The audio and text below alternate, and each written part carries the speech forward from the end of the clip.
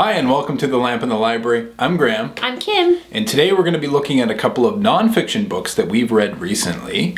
What do celebrated Soviet filmmaker Andrei Tarkovsky and renowned children's programmer Fred Rogers have in common? I don't think this topic has been covered enough in contemporary YouTube videos. So we are going to fill that void today by looking at a couple of works on these uh, two geniuses in their respective fields, mm-hmm. uh, starting with a biography of Fred Rogers that Kim has read. Yeah, so I read the book um, Exactly As You Are The Life and Faith of Fred Rogers by Shea Tuttle. For those who may not know, Fred Rogers was the creator and host of the children's um, television program Mr. Rogers' Neighborhood, and this was a phenomenally successful public television program that ran for many, many, many years. Uh, Miss, uh, Mr. Rogers was partly inspired to create this television programming because he was disappointed by the programming that was made for children on television at that time. He found it quite crude and he found that often the entertainment was just speaking down to children and he wanted to create a program that really spoke and respected children and their intelligence and spoke to them at their level and wanted to bring a real sense of love and um, inner sense of respect and dignity to children. So that's part of what went into creating his program. You may have watched a recent documentary about him, and there was also a feature film that starred Tom Hanks recently. So Mr. Rogers has sort of been in the air. But one thing that really struck me, because Graeme and I both saw the documentary, was it mentioned that while he was working full-time on his children's television show, he completed his education at a divinity school to become um, ordained in the Presbyterian faith. And from that, his ministry was seen to be um, through the work he did on television. So I wanted to read something that got a little more into what his faith was and how it informed the work he did. And that's exactly what this book does. It's not too long, but it does give you a good biographical overlook of Fred Rogers' life. But throughout it, it's sort of showing you um, what his faith was and how it informed the work and decisions that he made. One of the things that I find um, really fascinating about Fred Rogers is that his faith is integral to the work that he did.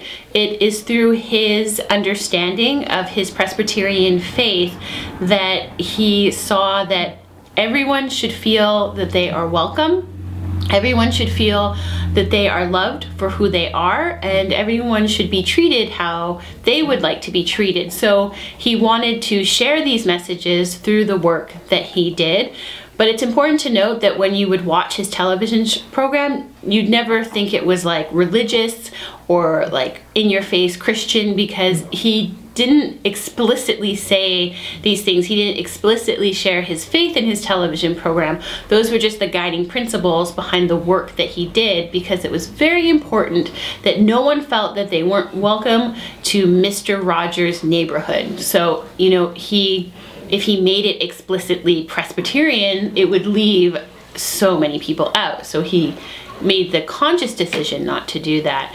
And I think Mr. Rogers is a very interesting figure because he almost seems otherworldly. Yeah, he does. He's he's he just resonates goodness and he's almost saintly. Yeah, so then you almost feel like you know, oh, I couldn't be like him. He's just like one of these figures that's just beyond whatever I could accomplish in life, like be that good.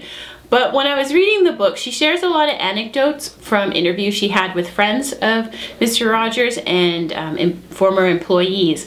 And one of the really touching moments in the book is she shares that there was an employee on Mr. Rogers' neighborhood who found out that her husband had a terminal illness. So she had to leave her work. And Mr. Rogers would come and he would, you know, support the family and just, you know, it says like he'd come and he'd pray with them and just try to be there for them. And unfortunately, as time went on, the husband, um, he did pass away and he passed away in his sleep. And the wife woke up and found her husband had died and was there in the bed beside her. And then she also heard someone at the door. So she went down and answered it in this state of just total shock and despair. And who was there but Mr. Rogers? And he explained that he just, you know, he had been praying in the morning and just had this feeling that she needed something. So he went to see if there's anything she needed or if he could help in any way. And she noticed that he was licking his lips when he was at the door. And because she worked for him she knew that he did this when he was feeling awkward or uncomfortable or maybe a little foolish. So he it's not like the amazing things he did came easily all the time. It's that i think that grounding in his faith and a grounding in what he thought was right would help push him to do the things that he felt he had to and it wasn't easy. And i thought that was a powerful message because sometimes you know we fall down a lot as humans and we don't always live up to maybe what we want to be but Mr. Rogers' example can inspire us to, you know, push past feeling awkward and foolish sometimes and just to keep going and try to be, you know, the best person that we can be. So I really, really enjoyed this book and um, if you're interested a little more in Mr. Rogers' life, I would recommend it. That's really interesting because I'm seeing a bit of overlap in your description of Mr. Rogers with um, Andrei Tarkovsky. So I uh, recently uh, have read this book. It's called Sculpting in Time, and it's written by Tarkovsky. Uh, and it's basically um, a personal account of his life and filmmaking. Um, but mostly it's kind of um, an overview of his philosophy of art. Hmm. And um, you may know if you don't know who Tarkovsky is was um, he was a one of the most celebrated filmmakers of the 20th century. And from the 60s to the 80s he made a number of renowned films including uh, Stalker, Solaris, The Mirror, um, Andrei Rublev. Um, and kind of like Fred Rogers, he would not talk down to his audience. Now, his audience was different than uh, uh, children, but um, the impetus for writing this book apparently was because he was receiving so many letters from people who had seen his movies and did not comprehend what they had seen. So he decided to uh, write this book, Sculpting in Time, in response to that. Mm. Um, and what's interesting is that he doesn't really um, walk you through the the symbolism in his films. He uh, he does kind of reference the the movies, and he does give a little bit of background information on the process he went through in creating these films, but uh, not to the extent that um, you really gain a lot of insight into his films. He, he, he talks just as much about um, kind of contemporary filmmakers that he admires, like Bresson and Bergman. Mm. Um, and he just kind of um, touches on his films to um, make points about what he really is interested in talking about, which is a philosophy of art. And like Fred Rogers, he has this philosophical underpinning to his work, and he was uh, also deeply religious. He was Orthodox Christian, mm-hmm. and he really believed in the spiritual potential of art and filmmaking.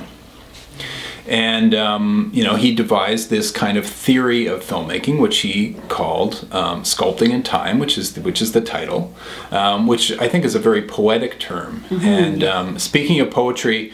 Uh, his father was a renowned Soviet poet. Uh, his name was uh, Arseny Alexandrovich Tarkovsky.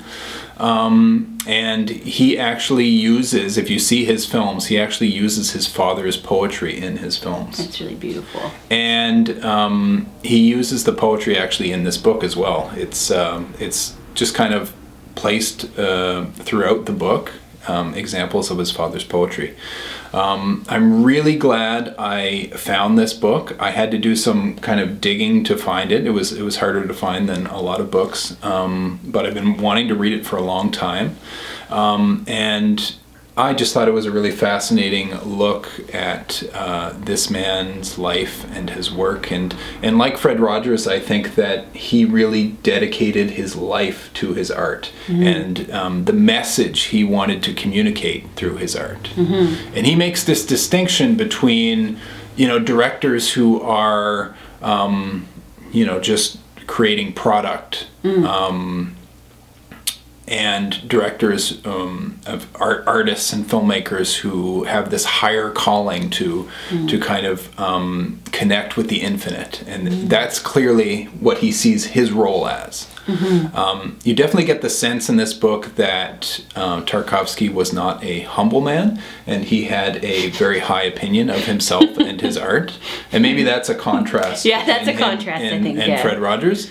Um, but you know, he definitely saw that his films had a higher spiritual purpose, and um, it's interesting to read about his theories of art and the philosophical underpinnings of his films, which I think um, next time I watch one of his movies will really add that that other layer to his films. I mean, even watching the movies, you could tell that this is a a, a very intelligent person who is trying to communicate some some deeply personal themes in his work.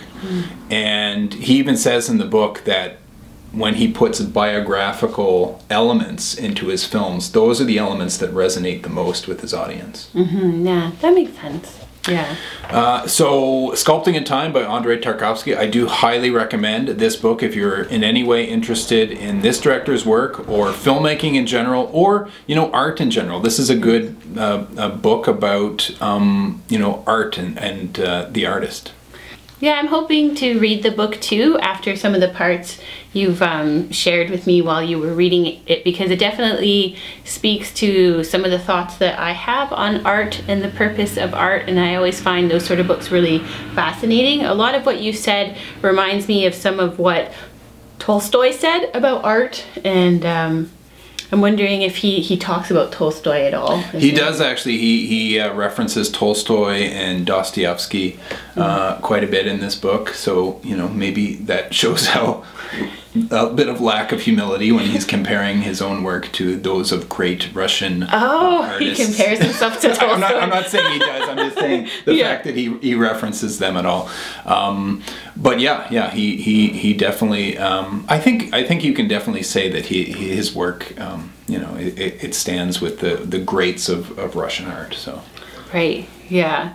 I think it's interesting too that both figures, you know, they understand that you don't have to um, make things at the crudest level for people to get meaning from them Yeah. and to inspire people. And I, it sounds like both artists were, you know, um, responding to the art they saw around them. yeah, And absolutely. I'm always inspired by um, people who, no matter what the situation, you know, whatever whatever form of art or craft it is, that they're like, I just don't really like what I'm seeing, so I'm going to make something that I like, that I think needs to be out there, and also inspired by people who who their motivation is for something that's beyond the material, and almost like they're tapping into something else.